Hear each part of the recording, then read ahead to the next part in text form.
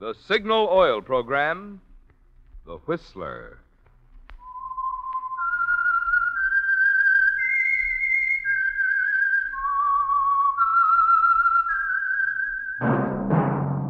That whistle is your signal for the Signal Oil Program, The Whistler.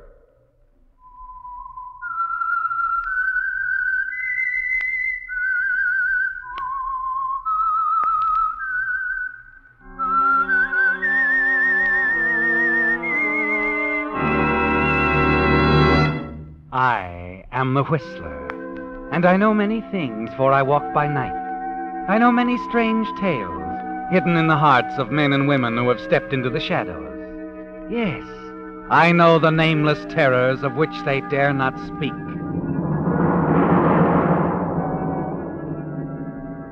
Yes, friends, it's now time for the Signal Oil Program, The Whistler, rated tops in popularity for a longer period of time than any other West Coast program in radio history. And here's an important announcement for Whistler fans in California only. Beginning next Sunday, January 2nd, due to California's going off daylight saving time, the Whistler will be heard in California only 1 hour earlier from 8:30 until 9. Remember the change in time in California only. The Whistler will be heard at a new time from 8:30 till 9. In other states, the Whistler will be heard at the same time as always. And now the Whistler's strange story. Delayed Christmas present. Christmas was really over, for it was one o'clock in the morning at Pete's Cantina, a tough little night spot on the outskirts of Panama City. But the melody lingered on. You could hear the chimes of the big church a block away playing Adeste Fidelis. There was practically no business. Four hostesses, all Americans, were sitting drearily at the far end of the ballroom near the bar. One of them, Mary Winslow, billed as Candy Porter, just sat gazing drearily into space, thinking bitterly of a past from which for a while there had seemed no escape. But for five months now, she'd been relatively safe. No one had been around asking any questions. As Candy Porter, blues singer, Mary Winslow had found a kind of security, not a happy security, for she was far away from home. And as the chimes became silent, Mary wondered if it was worthwhile. Her reverie was broken up as she looked up and saw Spanish Pete, the fat, greedy owner of the cantina, approaching her table. Candy, Candy, look, there's an American gentleman just came in. He wants to buy you some champagne. Champagne, oh, you hear please, that? Please, Pete, not tonight. It's Christmas. I- I'd rather be alone if you don't mind. I do mind. Look. All kid, right, you- all right. I'll let him spend his money on champagne. Ah, now you're smart, baby. Here he comes. You turn, see the tall, heavy-set American approach. Suddenly you become tense. You recognize the type, don't you? After a year of running away, you've learned to spot his kind in a moment. You fight to remain calm as he reaches your table. Sit down, Mr. Fontaine. Sit down. Sure you don't mind, Miss Porter? Of course not. Thanks. In that case, I guess I will. I'll go get the champagne. I keep him on ice. Eleven years old, too. Cigarette, Mr. Fontaine? No, thanks. You don't mind if I do. Of course not. Light? Thanks. Strange, spending Christmas so far away from home. Mm-hmm. How come? Business. Important business. Couldn't it wait? No. This business means a lot to the people I work for. well, here's what you say, bubble water. from Marseille, 13 years old. You said 11. That was from Le Havre. Hmm, This is even better. Now I put him back in the ice. You want some more? You just call Pete. I got another one on ice just like him. Well, I guess it's kind of late to wish you a Merry Christmas, Miss Porter. So I guess I'd better just say uh, season's greetings. Anyway, here's luck. Here's hoping you find whatever you came here after. I've already found what I came after. I'm glad. I hope you will be. Why shouldn't I be? Because I came after you, Mary Winslow.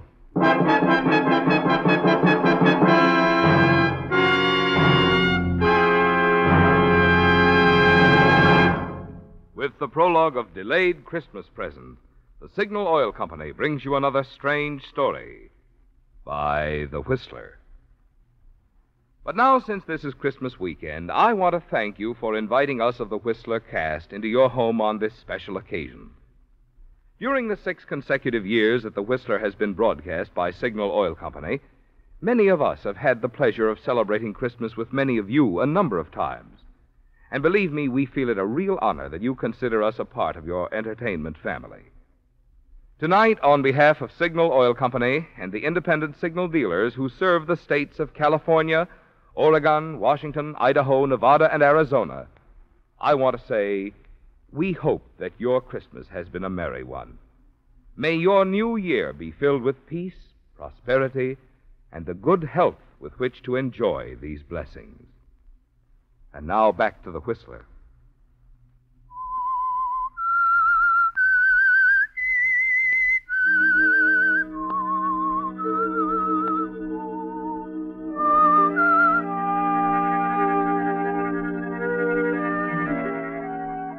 After a year, it doesn't seem fair, does it, Mary Winslow?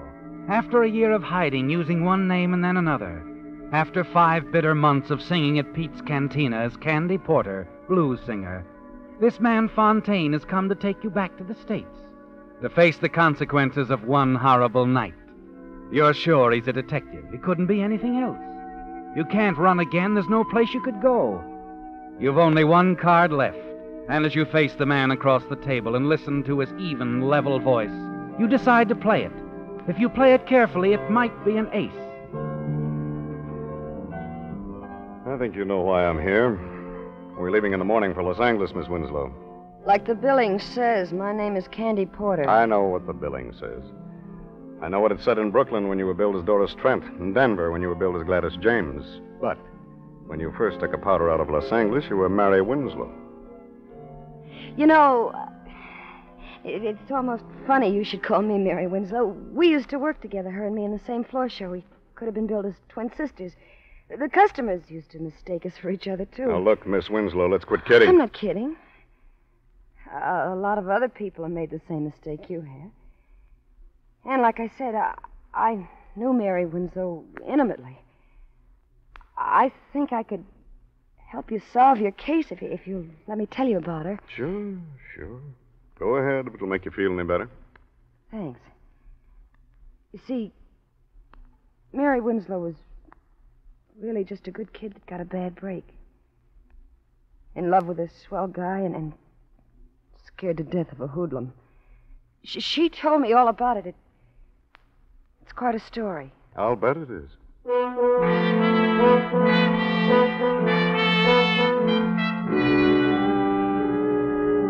Yes, it was quite a story, wasn't it, Mary? And it all began a year ago, Christmas Eve, at the Christmas party given by your employers in the pink room of the Swank Wilchester Hotel. You really enjoyed yourself that night, didn't you? And you were quite the hit of the evening. You sang three numbers and went over big. Your fellow workers didn't know your many talents. Everyone told you what a fine singer you were. And when you left, you were feeling good. So good you decided to drop into the cocktail lounge, make a phone call, and have a nightcap before going home. Scotch and soda. Mix it. Make mine the same, Bill. Gotcha. I, uh, I heard you sing tonight. You were terrific. Thanks. What's the matter? Did he stand you up? Who? The guy you were just talking to on the phone. No, I guess he didn't stand you up. Didn't he? And he's on his way here right now. yep, that's the answer. Lucky guy. Here you are, folks. Oh, take it out of here, Bill. Dollar Now look here, oh, Mister. take it easy. It's practically Christmas. What's the harm of my buying you one drink? Like I said, I like your voice, Miss Winslow. Here's your change. Oh, thanks, Bill. You must be a detective. You know my name and everything. No, no, not everything. But it uh, wasn't any trick to find out your name. I just asked one of the boys I saw you dancing with. My name's Joe Clark. Oh, I see you've never heard of me. Should I have? A lot of people have. Most of the boys and girls around the night spots know me. Well, then that accounts for my ignorance. You see, I seldom haunt the night spots. Well, you should. With a voice like yours, you could be packing them in in a good nightclub. Oh, now I get it. You're a professional talent scout and you want to get me into the movies. No, no. I'm a gambler. Shock you? Why should it? Live and let live is my motto. And that's exactly what I'm going to do right now. What? Live my life and let you live yours. Good night, Mr. Clark. My, my, my. Just think tomorrow I can tell all the girls at the office I met a real live gambler. You could tell them all a lot more than that if you believed in your voice as much as I do. Really? Uh-huh. You've heard of Domingos on Sunset out near the ocean? It's an undercover gambling club, isn't It's it? It's more than a gambling club. It's a swell floor show. A lot of big people go out there, people that count. And they're all intimate friends of yours, I'm sure. Not all, but I know quite a few. Could push you right to the top with that voice. of Oh, yours. that's the oldest line I've ever heard. It's not a line. yeah, but skip it. Go on home. Listen to the radio. Eat candy. You can have a terrific time. You go to Domingo's with me, you can't tell what might happen. You might have to meet a couple of show producers. So play it safe and go home. It may be dull, but you'll always get to work on time. Is that all you have to say? That's all. Nighty night. Wait a minute. Yeah? Could we, uh. Could we be back fairly early? Leave any time you say. Well, what are we waiting for? Oh, now you're making sense. I'll call a cab. Never mind, I have a car. It's parked right around the corner. Clark used just the right approach, didn't he, Mary? You realize you're being a fool. But as the hours pass, you tell yourself your fears are groundless. Joe treats you with perfect courtesy. You watch the gambling for a while, then proceed to the silver room and enjoy the floor show. Afterward, you have a little food and watch the dancers.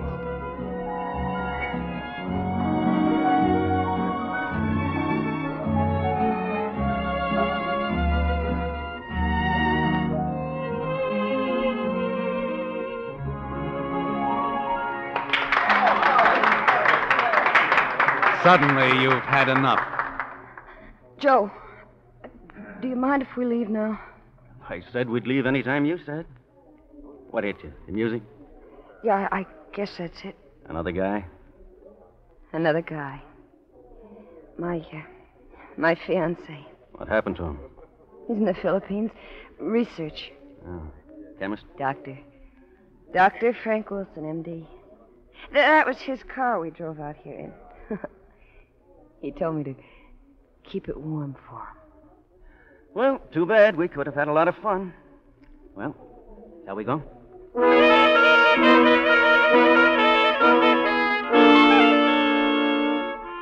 Was it just the song, Mary? Or was it that uneasy feeling you have about Joe that made you want to leave so suddenly? It must have been the song. For as you're ready to leave the club grounds, Joe is still a considerate escort. Well, hop in. Oh, unless you want me to drive. Oh, I'll drive unless you mind too much. Oh, no, I don't mind. Probably be safer, too.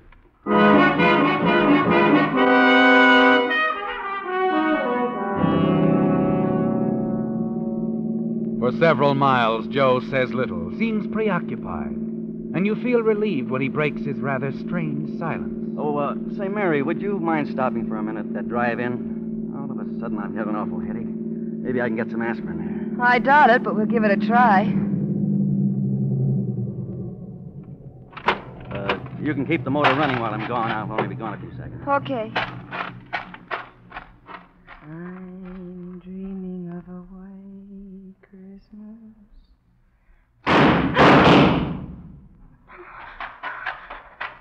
Joe! Get going. Joe, you, you shot him. I said get going fast. There's a gun in your ribs, baby. You just saw what happened to one guy that crossed me.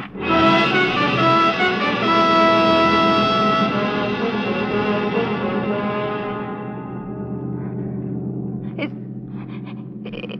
is he dead? I don't know. Oh, you. You. Oh, why was I such a fool? Turn right at the next corner. Car's been tailing us for the last five Oh, I'm minutes. glad. I hope it's a prowl car. It saved me the trouble of phoning the police.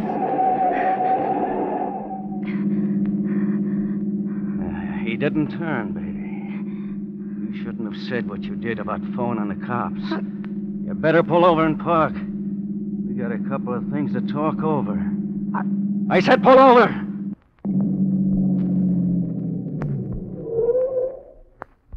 Yeah, that's better. Please. Please, Joe, don't kill me. I, I know you can do it easy, but I- I'll never talk about tonight. That's the way you feel now. An hour from now, you'll feel Oh, no, I won't, on my word of honor. I'm making a deal with you, Joe. I'm trading you my silence for my life. I swear I won't talk about it ever. Okay, I'll take a chance. You drove the getaway car, so we're partners now anyway. We're going to have a lot of fun together, you and me. Now, how about dropping me off at my place? Tell me where to go. I live about six.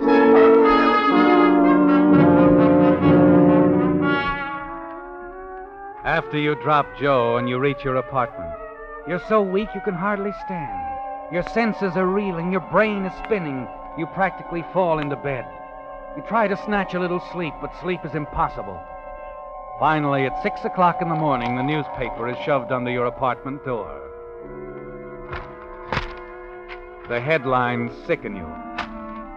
Drive-in operator shot in holdup dies. The subheadings are even worse.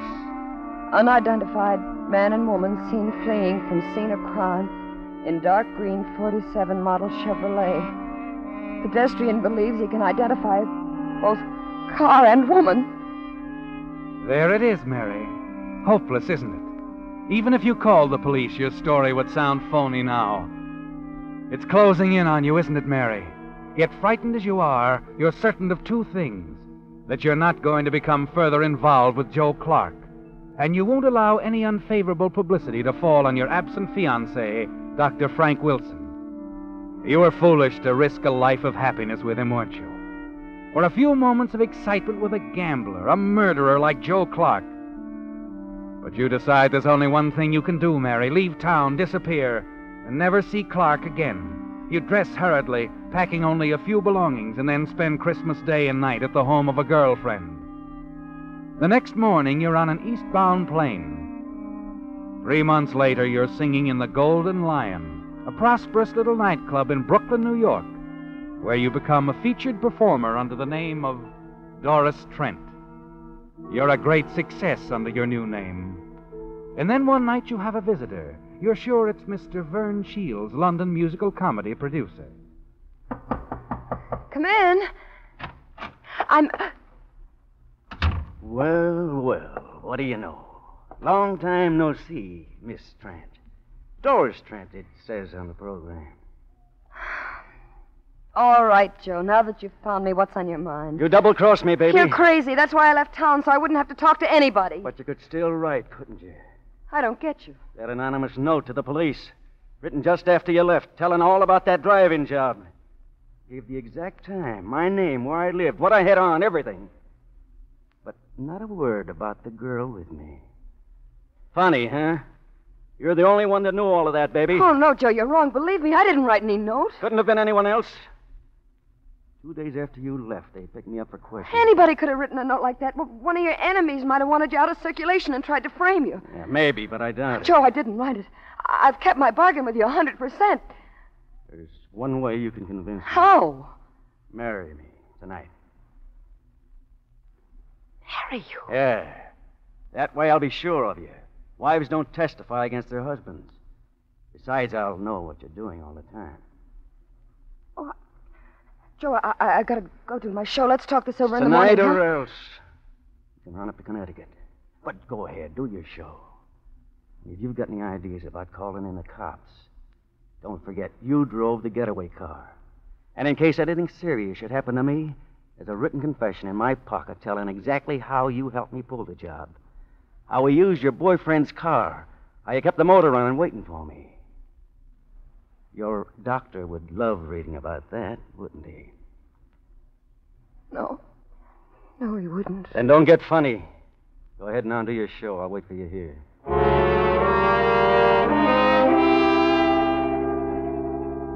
You start down the hallway toward the powder room off stage. Suddenly you realize what a fool you've been. But you're not going to keep on being a fool, are you, Mary? Not with that wall telephone just five steps ahead of you. Operator. Oh, operator. Get me police headquarters. Better quick. hang up quick, babe, and I mean quick. You should have looked around before you called. I had a hunch you'd try to double cross me. Now I know for sure who wrote that note to the cops. Oh, I didn't, Joe. You honest. just tried to call him, didn't you? All of a sudden, I've lost interest in getting married. We're just going for a little ride. Come on, babe. Start walking. No, Joe. I'm not moving a foot, not an inch. If I have to be shot, I'll take it right here. Let go of my Hey, arm. what's going on here? Something wrong, Doris? This guy bothering you? Yes, he is. He, he he wants to date me. Tell him to leave, will you, Eddie? Maybe I'd better take him into the office and call the cops. No. No. Thanks, Eddie. There- There's no need for that. He's just another wolf. Tell him to leave. That's good enough. You heard what the lady said, Bud. Start traveling. Okay, chum. Anything you say. I'll see the lady later. We parked right across the street. Miss Trent. You should have let me call the cops. I would have if he hadn't had you covered with his gun. Oh? Thanks, kid. Eddie, I gotta get out of town fast. After what you just did for me, that's a cinch. Grab some clothes while I phone my wife I'm bringing you home. We'll uh, uh, go out the rear entrance. My car's on the lot next door. Tomorrow I'll call a friend of mine in Denver. He'll put you to work right away. You, you better change your name, though. That'll be easy.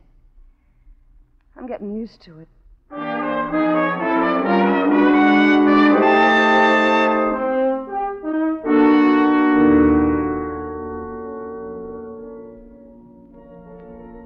So, Mr. Fontaine, that's where I met Mary Winslow in Denver at the High Hat Club.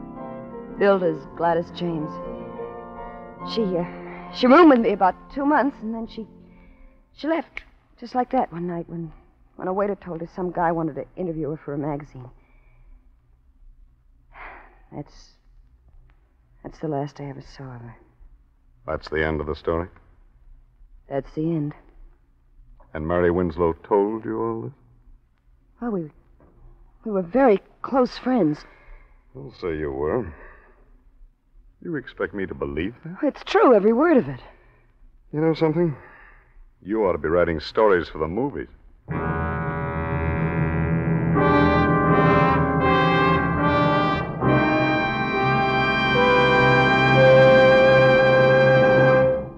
The Whistler will return in just a moment with a strange ending to tonight's story.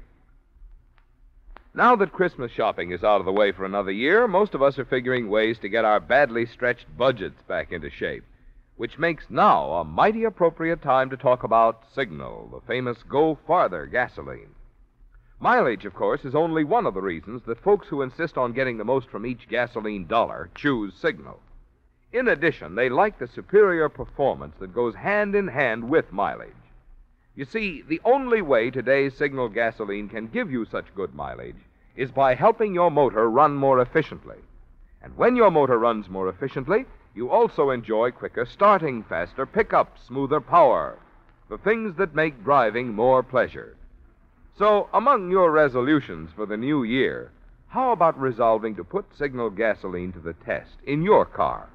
See for yourself why drivers who insist on quality, as well as those with an eye for economy, are both switching to Signal, the famous Go Farther gasoline.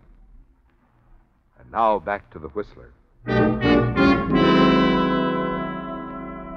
Well, Mary, it looks as though you've lost, doesn't it? That your one card wasn't enough. The man across the table, the man you're sure is a detective, who has come to take you back to Los Angeles to stand trial for a holdup and murder you had nothing to do with, doesn't believe you, does he? And the jury in Los Angeles won't believe you either. Yes, Mary, it looks as though you've lost, but you're going to play the game to the end anyway. And as the piano player across the floor plays the tune he's played a thousand times in the last two weeks, you quietly watch Fontaine and await his next word. How long did you say you've been here? I didn't say. I, I got here about five months ago. Like it here? No. That's what I figured. Look, A Miss. cigarette? Uh, yeah, thanks. Light? hmm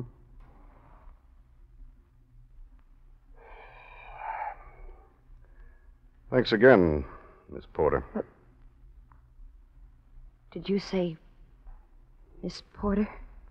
That's what you said your name was, didn't you? That's what the billing says, too, isn't it? Oh, thanks, Mr. Fontaine. Thanks for believing me. Uh, there's just one thing I'd like to ask you, Miss. Ask me anything. Uh, knowing Miss Winslow as well as you do, do you think she might come back to Los Angeles sometime and sort of clear things up? I think she might. Someday. You see, a, a girl like Mary Winslow gets to feel kind of soiled after working around in joints like this. She'd probably want to spend a little time, maybe out in the desert, in the sunshine. Sort of freshening up before anybody she cared about. Yeah. I guess she would. Well, this was a pretty long trip for nothing, you might say. Just one more bum steer. But I'm glad I came. I always figured that confession we found on Joe Clark was a phony. Clark. Is Joe Clark in jail? He's dead. The Brooklyn police got him one night about uh, five months ago. Funny how they got the tip. A woman called the police one night from a little nightclub, the Golden Lion Club. She hung up before they answered the phone, but the Brooklyn boys decided to investigate anyway. One of them spotted Clark parked in the car across the street, and he got trigger happy, that was that. Joe Clark. Finished. Well, Miss Porter, if you ever run into Mary Winslow. I'll I- tell her all about the Christmas present I got from a swell cop named Fontaine. I'm not a cop, Miss Porter. You're not? Then. Then who are you? I'm a private investigator working for a guy named Wilson. Dr. Frank Wilson. Frank Wilson. That's right. He's in love with Mary Winslow. Doesn't care where she's been. Just wants her to come back and marry him. Well, uh, so long, Miss Porter, and Happy New Year. M- Mr. Fontaine, Yes? do you. Do you think you could arrange for me to go back to the States with you? I guess I could. I was figuring on taking one lady back.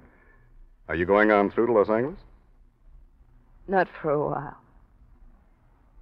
I'd kind of like to spend a little time in the country somewhere. But I think maybe before next Christmas. Well, I think I'll find Mary Winslow again.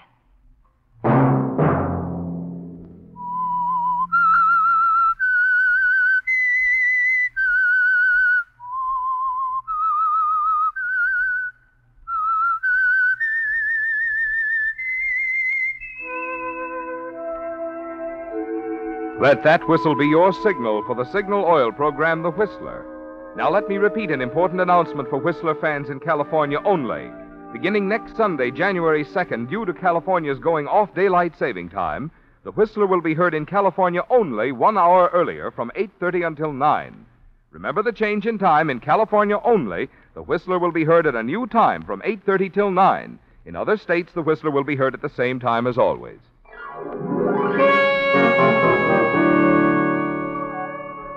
Featured in tonight's story were Joan Banks and Jack Petruzzi. The Whistler was produced by George W. Allen and directed by Gordon Hughes, with story by Edward Bloodworth and music by Wilbur Hatch, and was transmitted to our troops overseas by the Armed Forces Radio Service. This is Marvin Miller speaking.